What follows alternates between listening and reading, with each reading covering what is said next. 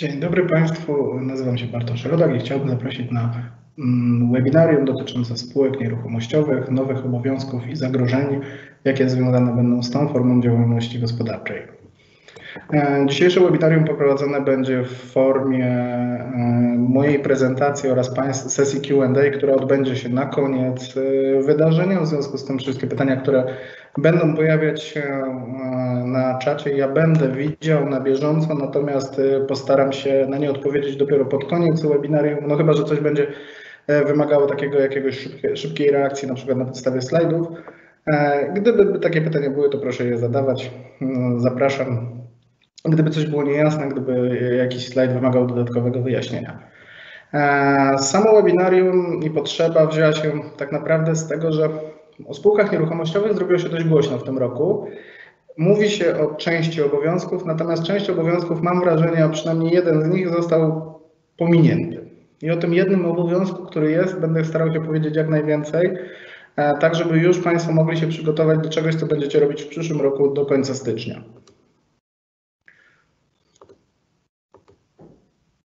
Spółka nieruchomościowa, proszę Państwa. No, żeby mówić o spółce nieruchomościowej, musimy najpierw powiedzieć, czym spółka nieruchomościowa jest. Ustawodawca przewidział nam e, ustawową definicję spółki e, nieruchomościowej i zaczął tą definicję od przesłanki negatywnej, że spółka nieruchomościowa nie może być osobą fizyczną.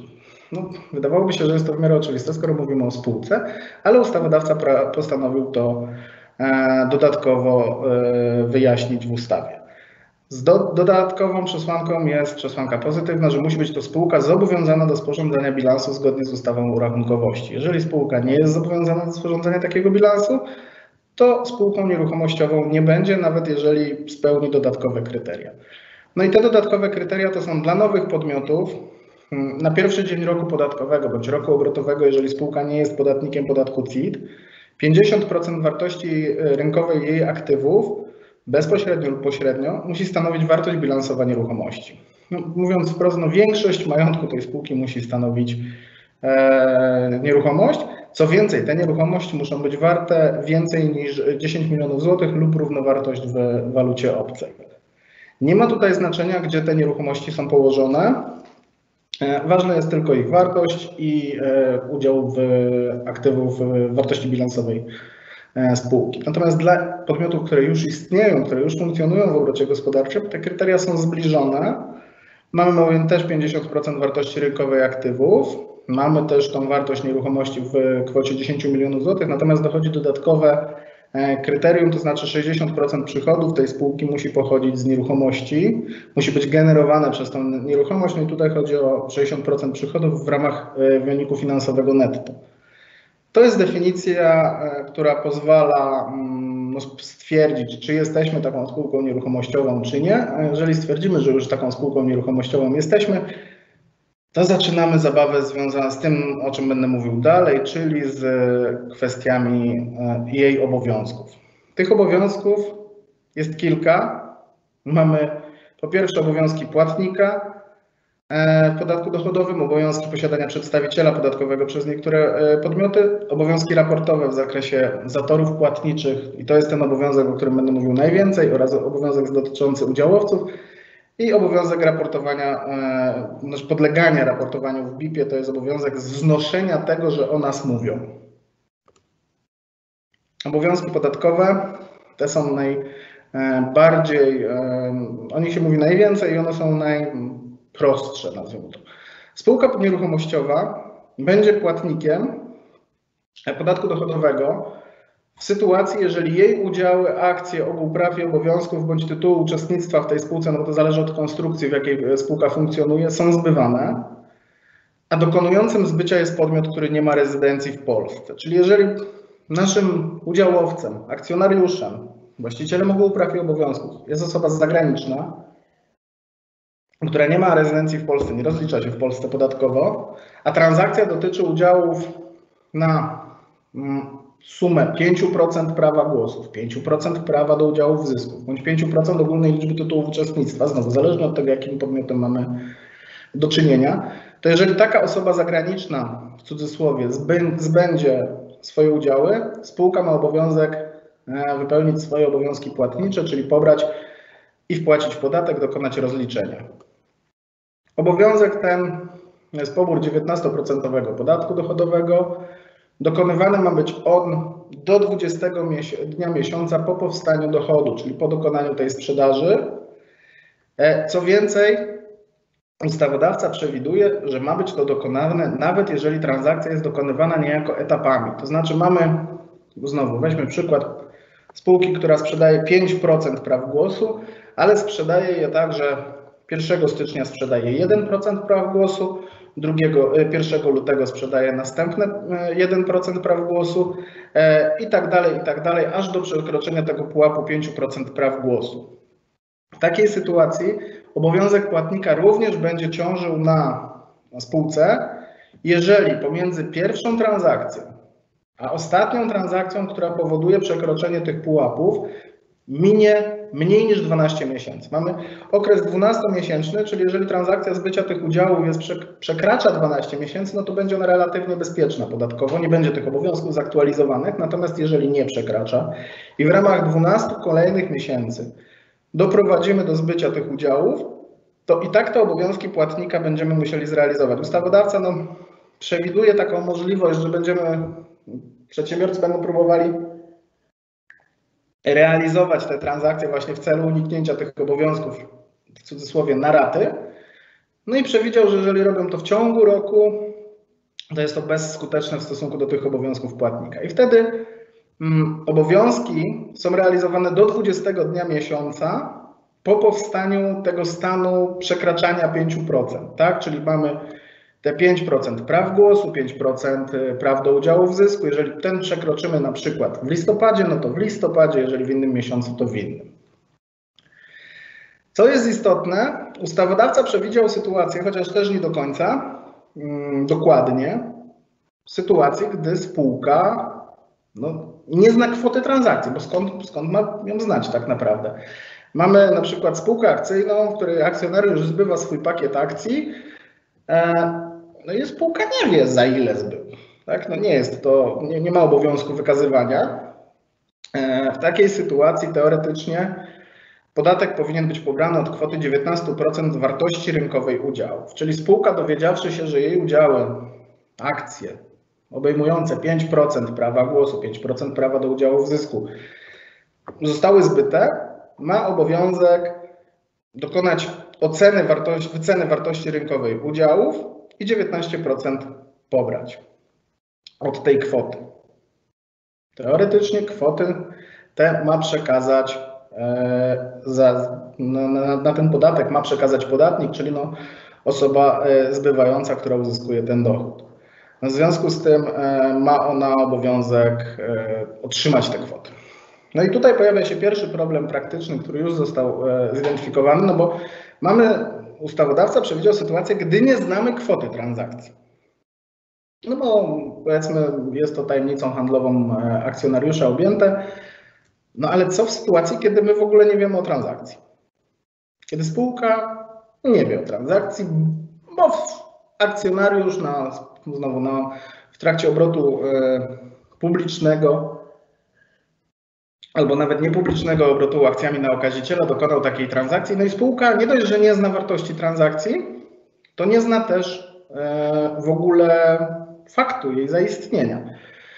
Ustawodawca tej sytuacji nie przewidział, mm, wychodząc z założenia, że zarówno udziałowcy mają obowiązek poinformowania spółki, jak i spółka no też ma obowiązek kontrolowania swoich e, udziałowców w tym zakresie, i wychodzi się z założenia, że w takiej sytuacji też ma pobrać podatek i wywiązać się z obowiązków płatnika.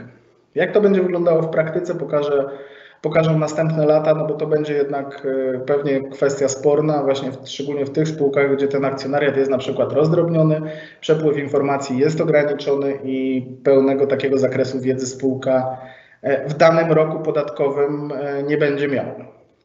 Oczywiście jest też e, związany z tym obowiązek informacyjny. Spółka ma obowiązek poinformować o dokonanych płatnościach, rozliczeniach. Drugi obowiązek, który nałożony został przez przepisy podatkowe, dotyczy spółek nieruchomościowych nie będących polskimi rezydentami, e, w uproszczeniu oczywiście.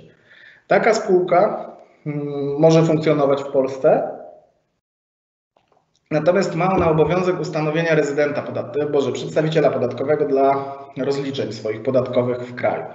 Tym przedstawicielem musi być polski rezydent, który nie ma zaległości podatkowych względem budżetu państwa, czyli z tytułu podatków, które są źródłem przychodów budżetowych dla państwa, nie dla samorządu terytorialnego. Przy tym, że ustawodawca no, wprowadził takie rozwiązanie, zgodnie z którym za stan braku zaległości uznaje się, że w ciągu ostatnich 24 miesięcy stan tych zaległości wynosił poniżej 3% mm, zobowiązań podatkowych spółki. Tak? Czyli pewne zaległości, jakieś niewielkie na, na kwotę 3% można mieć, no bo to wynika czasami z jakiegoś e, mm, nieprawidłowego rozliczenia, no ale nie ma to wpływu wielkiego na sytuację tej spółki, no bo jeżeli ma te, tylko te, mm, tak niewielki udział, e, ta zaległość podatkowa, no to raczej nie rzutuje to na ogólną rzetelność tej spółki i nie rzutuje też na mm, jej możliwość e, działania w kraju e, przez tego przedstawiciela. Co więcej, taki przedstawiciel nie może być skazany za przestępstwo skarbowe. Więc może być, musi być to osoba niekarana KKS-owo, i musi mieć ona uprawnienia do doradztwa podatkowego lub do usługowego prowadzenia ksiąg. Więc tym przedstawicielem podatkowym mogą być, e, może być dość wąska grupa e, osób, ale to wynika z tego, co ten przedstawiciel robi. Po pierwsze, no on realizuje te obowiązki płatnika, o których mowa była wcześniej, czyli jeżeli spółka nieruchomościowa znowu dokona tych transakcji, E, zbycie, znaczy jej udziałowcy, akcjonariusze dokonają tych e, transakcji, to ona w Polsce będzie musiała wypełnić mm, swoje obowiązki jako spółka nieruchomościowa, no i będzie musiała e, podlegać, będzie to robiła przez przedstawiciela podatkowego. No i drugi obowiązek to jest odpowiedzialność solidarna ze spółką za jej zobowiązania. To znaczy chodzi o to, żeby na terenie kraju był ktoś, kto za tę spółkę ewentualnie podatki zapłaci. No bo spółka w Polsce majątku poza nieruchomością e, najczęściej nie będzie miała. Egzekucja z e, majątku, z nieruchomości może być utrudniona, o ile nie niemożliwa w niektórych przypadkach. Tak? Jeżeli to jest nie, na przykład bardzo duża nieruchomość, która jest trudno zbywalna, może, być, może się okazać, że w praktyce jest dość trudno e, zobowiązanie podatkowe wyegzekwować, więc szukamy osoby, która byłaby w stanie nam dać większą możliwość rozliczenia. Na szczęście w większości wypadków spółki zagraniczne, które mają w Polsce e, nieruchomości, nie będą musiały ustanawiać przedstawiciela podatkowego, ponieważ obowiązek tego ustanowienia nie dotyczy spółek z Europejskiego Obszaru Gospodarczego, które w kraju swojego pochodzenia rozliczają się na zasadach nieograniczonego obowiązku podatkowego. Czyli jeżeli taka spółka w innym kraju Europejskiego Obszaru Gospodarczego rozlicza się mm, z całości swoich dochodów, to w Polsce nie będzie musiała ona e, przychodów e, ustanawiać tego przedstawiciela. To jest dobre rozwiązanie, jeżeli chodzi właśnie o spółki w ramach Unii Europejskiej realizujące swoje zobowiązania, no, czy też szerszego właśnie Europejskiego Obszaru Gospodarczego. Natomiast jeżeli mamy jakieś bardziej egzotyczne e, partnerów biznesowych, bardziej egzotyczne spółki nieruchomościowe, no to one już będą podlegały mm, temu obowiązkowi. Ustawodawca też przewidział, że brak takiego przedstawiciela wiąże się z karą i to karą dość dotkliwą, bo jest to kara do miliona złotych. I jest to, proszę Państwa, kara o charakterze administracyjnym. To nie jest kara karna, więc ona nie jest wymierzana na osobę, nie wiem, prezesa zarządu, członka zarządu, tylko jest ona wymierzana na spółkę i egzekwowana bezpośrednio od spółki. Także jest o co walczyć, jest z czym walczyć. Następny obowiązek, który został nałożony na spółki nieruchomościowe, to jest sprawozdanie dotyczące udziałowców. To jest obowiązek, który został nałożony zarówno na spółki, jak i też na, ich, na podatników, którzy posiadają co najmniej 5% udziałów w tej spółce. Oni mają zaraportować o podmiotach posiadających odpowiednie udziały w tej spółce i o ich ilości. I spółka musi się wyliczyć ze swoich udziałowców, akcjonariuszy i ich statusu i ilości akcji, udziałów, innych tytułów uczestnictwa, które oni posiadają Natomiast każdy z podatników posiadających co najmniej 5% udziałów sam ma zaraportować o siebie, o sobie. Czyli jeżeli ja jestem akcjonariuszem spółki nieruchomościowej, mam 15% udziałów, to mam obowiązek dokonać, zaraportować o tym, że posiadam te akcje i posiadam je w takim, a nie innym wymiarze. Dokonuje się tego według stanu na ostatni dzień roku podatkowego, roku obrotowego, jeżeli spółka nie jest podatnikiem podatku CIT. E, tak się ocenia ten stan, natomiast sam raport wysyła się do końca trzeciego miesiąca po zakończeniu roku podatkowego obrotowego i pierwszy okres sprawozdawczy to będzie 2022 rok za 2021 rok.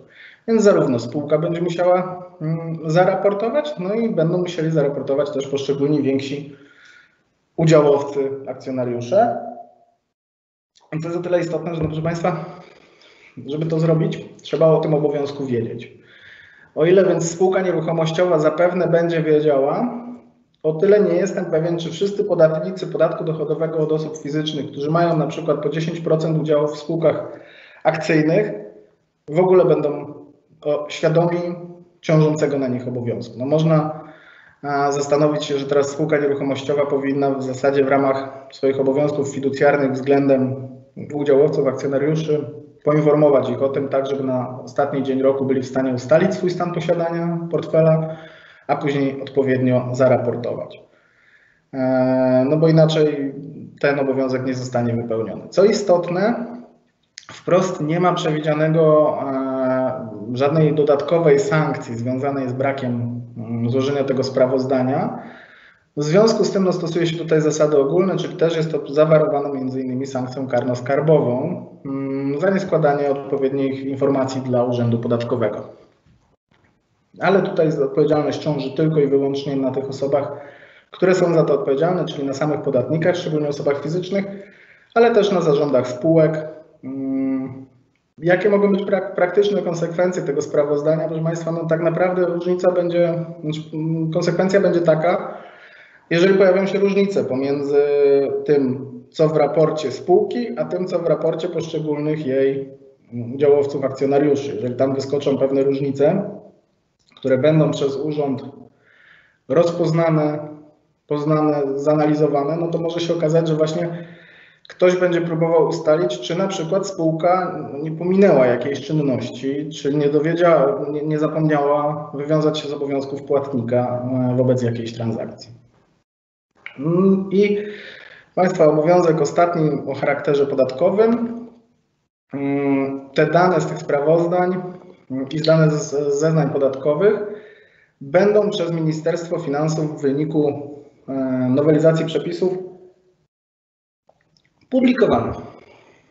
Ministerstwo Finansów raz w roku do 30 września będzie podawało dane publicznie w Biuletynie Informacji Publicznej z zeznań podatkowych spółek nieruchomościowych.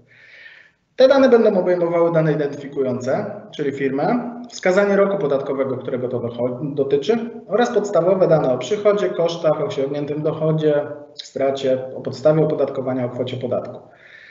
Więc będą to dane zbliżone do tego, co ujawnia się w mm, KRS-ie na podstawie przepisów o mm, składaniu tam sprawozdań finansowych, no ale w ujęciu już e, czysto podatkowym.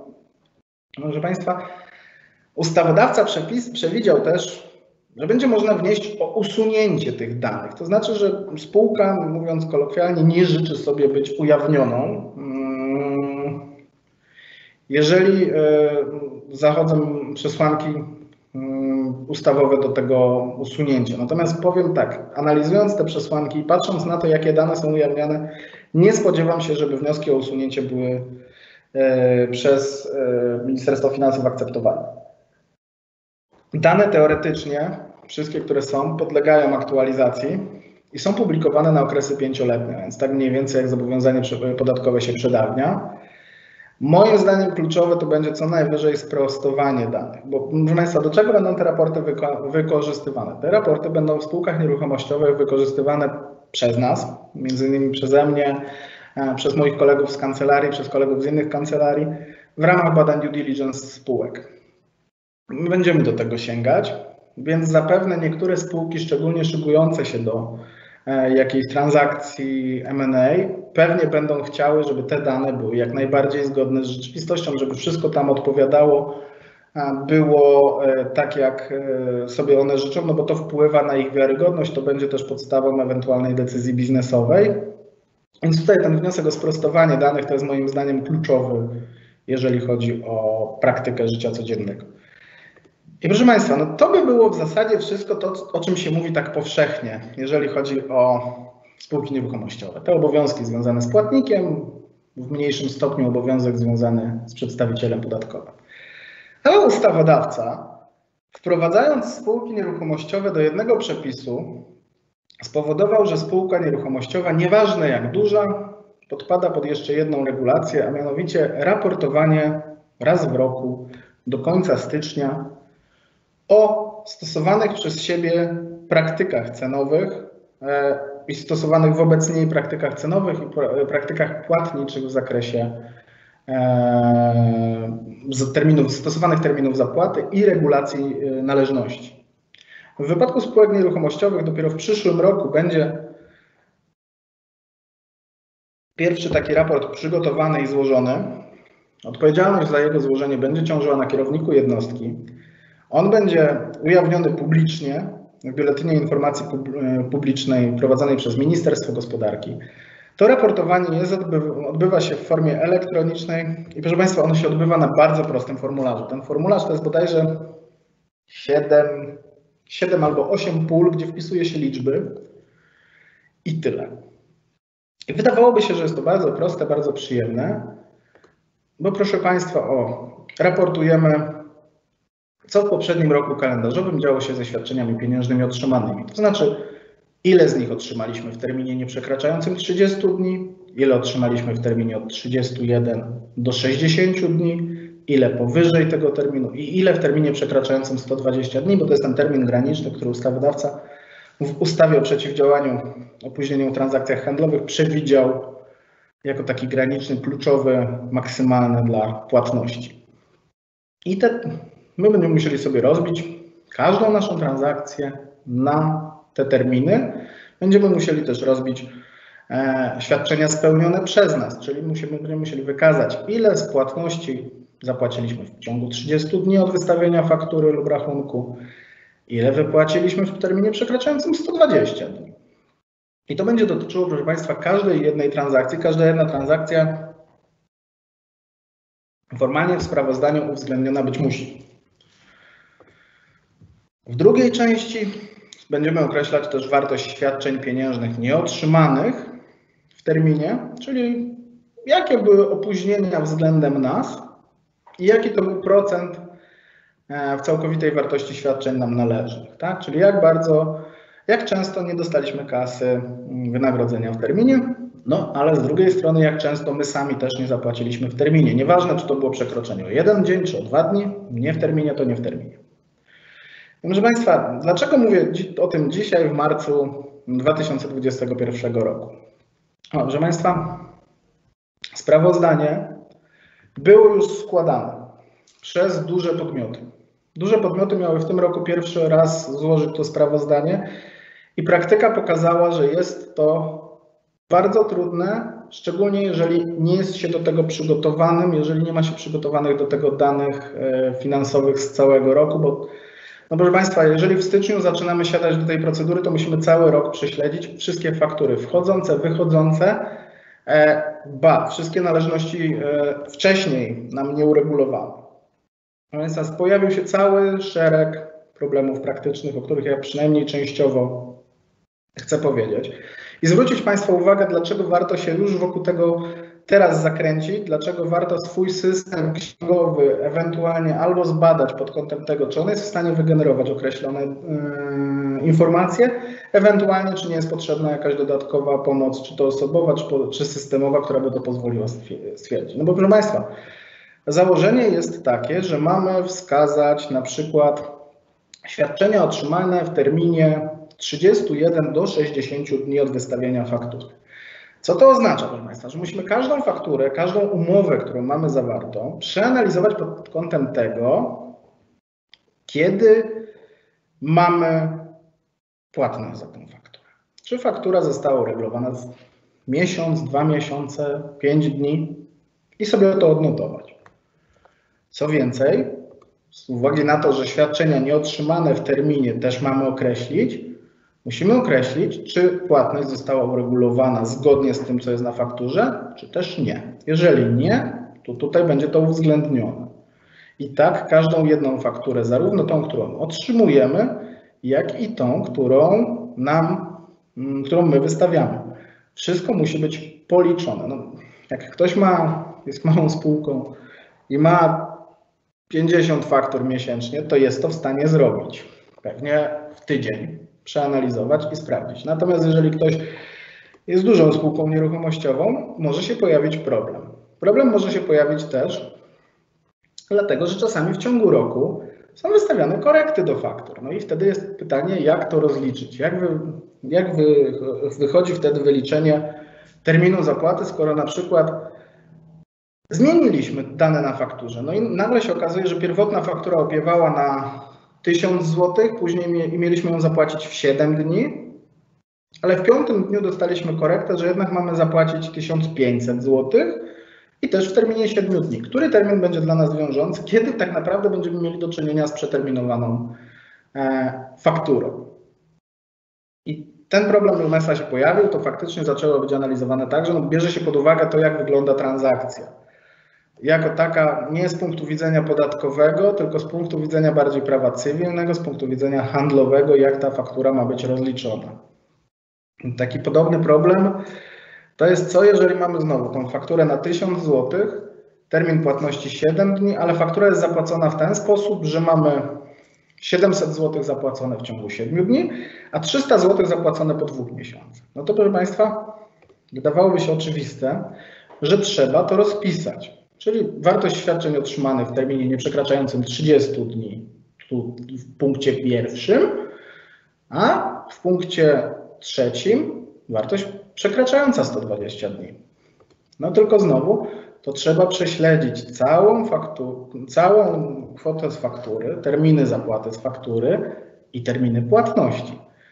Eee, mówię, przy mniejszych ilościach jest to do zrobienia od ręki. Przy większych no, lepiej robić to na bieżąco, dlatego mówię o tym dzisiaj, żeby Państwo byli w stanie sobie zrobić, e, już zacząć się przygotowywać do tego, bo tak jak mówię, no może to być dość problematyczne.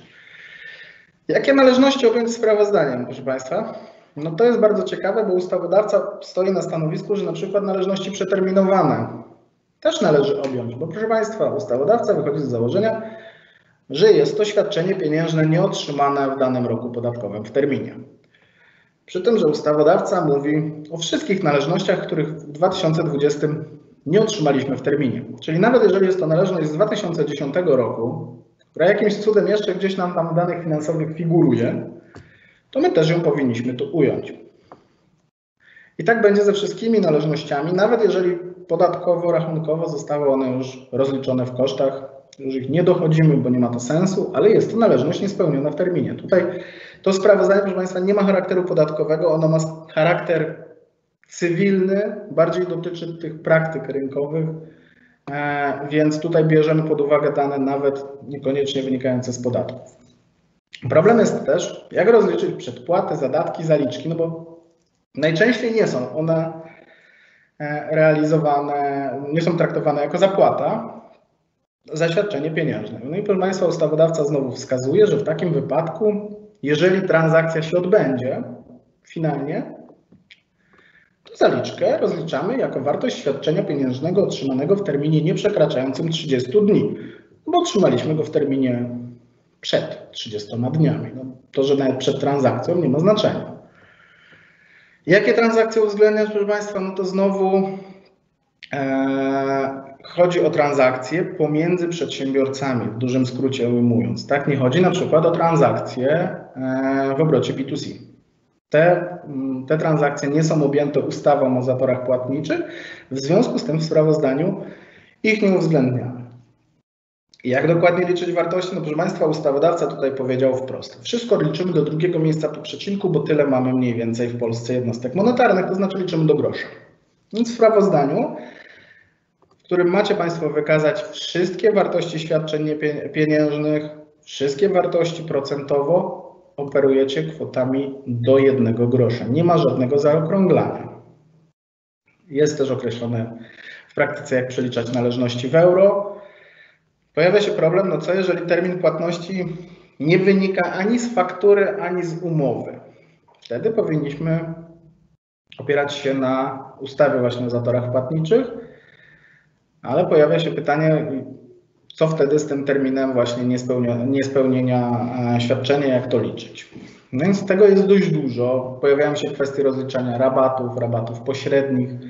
To wszystko musi być uwzględnione przy przygotowywaniu tego sprawozdania i powiem tak, nasza praktyka pokazała przy, przy dużych podmiotach, które były do tego przygotowane, to styczeń 2020 roku nie był wystarczającym okresem najczęściej. To i tak był okres nerwowy, to i tak był okres dużego stresu, więc przestrzegam i namawiam do wdrożenia odpowiednich rozwiązań już teraz, po to, żeby no, mieć nad tym kontrolę. Bo proszę Państwa, no, chodzi o to, żeby znać sytuację własnej firmy i sobie e, z nią jakoś poradzić.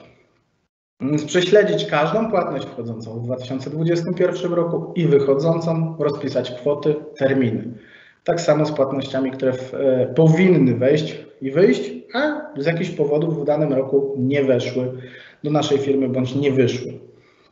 Sprawdzić, czy powyższe e, dane wszystkie dotyczą transakcji handlowych. No i przyznam szczerze, zautomatyzować ten proces, bo inaczej można dostać e, małpiego rozumu. Szczególnie, proszę Państwa, no tutaj nie operujemy danymi w rozumieniu podatkowym. Tutaj te terminy zapłaty są znowu niepodatkowe, nierachunkowe, więc to też jest problem w praktyce dla e, często niektórych służb księgowych, że no trzeba się przestawić na zupełnie inny typ myślenia.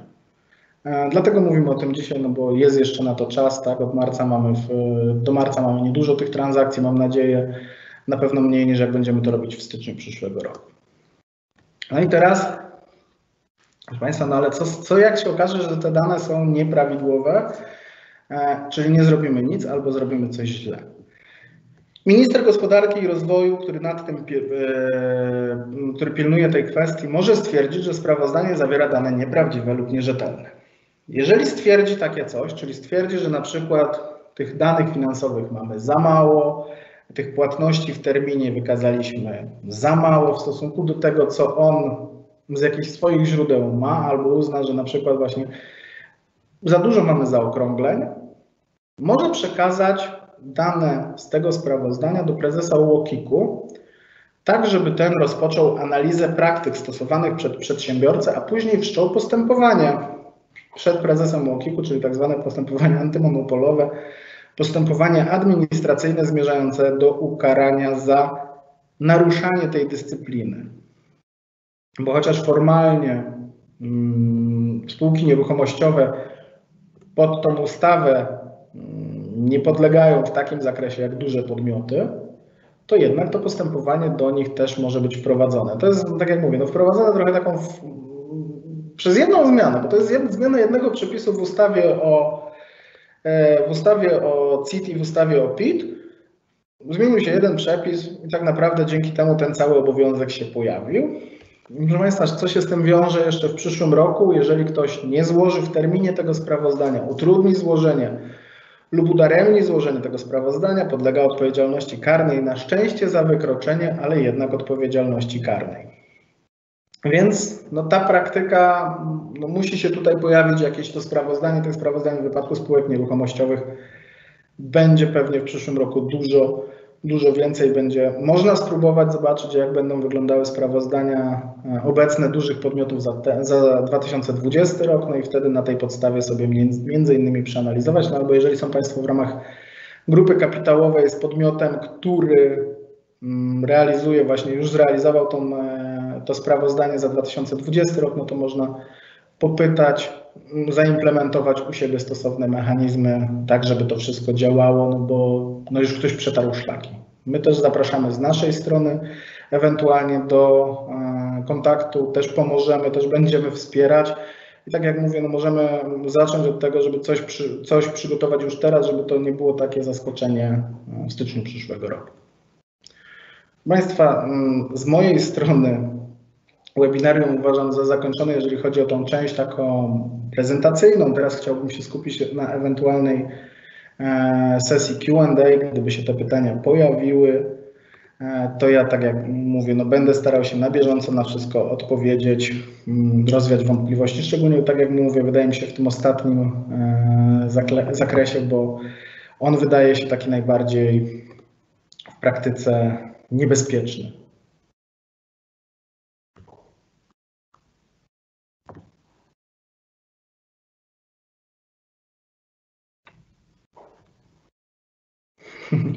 Mam jedno pytanie na razie y, dotyczące tego, czy wartość rynkowa aktywów, y, definicja tej spółki, czy dotyczy to również aktywów obrotowych, zapasów produkcji w toku, wyrobów gotowych i towarów.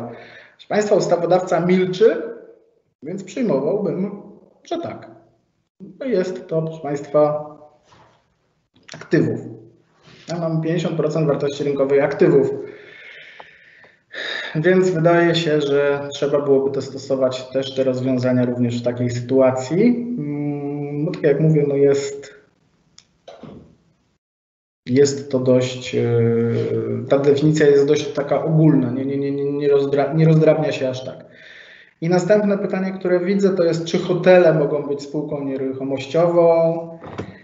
E, wydaje się, że tak, bo mm, definicja spółki nieruchomościowej mówi jasno, że no tamta wartość aktywów, wartość poszczególnych e, świat, e, wartość bilansowa nieruchomości, jej wartość, no i 60% przychodów pochodzi z nieruchomości. I tutaj ustawodawca mówił, że chodzi o sytuację leasingu, dzierżawy, wynajmowania nieruchomości bądź innych podobnych transakcji. Mm, no i teraz jest pytanie, czy działalność hotelarska jest przedmiotem zbliżonym do najmu, dzierżawy e, bądź leasingu. Niestety nie ma na to jeszcze odpowiedzi. Wydaje się, że są pewne aspekty podobne. Tak? No jest, jest ten aspekt wynajęcia tej, e, tej przestrzeni, natomiast no jest to świadczenie kompleksowe, więc tutaj chyba bym się zastanawiał.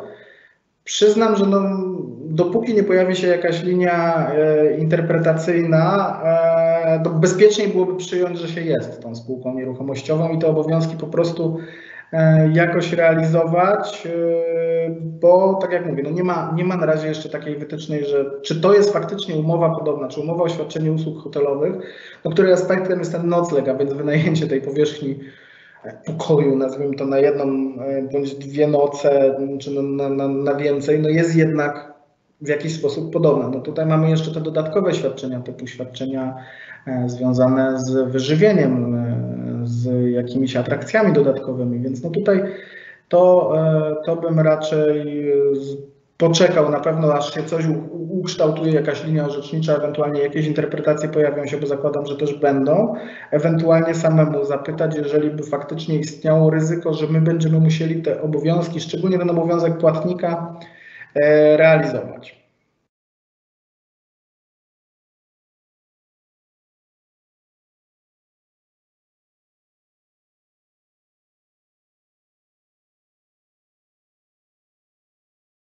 Mam nadzieję, że w ten sposób rozwiałem te dwie wątpliwości.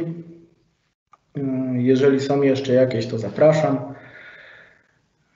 Jeżeli nie, no to ja jeszcze parę minut jestem dostępny, ale jeżeli będzie potrzeba, to mm, pytań nie będzie, to już będziemy też e, webinar kończyć. Zapraszam oczywiście do śledzenia naszych e, social mediów, naszej strony internetowej, gdzie pojawią się już e, następne webinary, będą zapowiedzi następnych wydarzeń. Pojawią się też nasze publikacje, w których będziemy rozwiewać dalsze wątpliwości, jakie pojawiają się w związku między innymi z nowymi przepisami.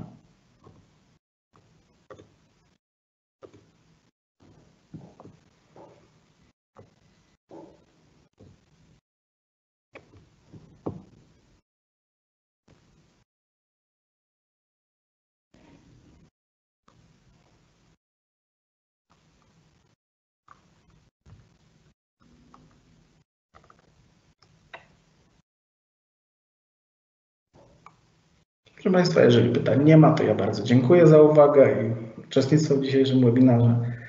Do widzenia, miłego dnia.